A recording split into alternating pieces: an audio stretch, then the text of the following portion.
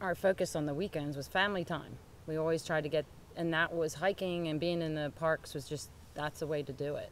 Almost every weekend we're out hiking, trail running. Yeah, they're important to us because it's kind of our time together as um, just the two of us or as a family, my dad and brother. And so this is always just it's exercise, it's beauty, it's everybody freedom. can participate. Yeah. yeah, yeah. Everybody. We don't need a lot of gadgets. We don't need a lot of things to do this. You need your legs and a you know a water bottle, backpack. I think the beauty of it is just it's it's easy to do. You know, it really is. You just you can enjoy parks very easily without having to do a, buy a lot of things or you know, it's not an expensive thing to do.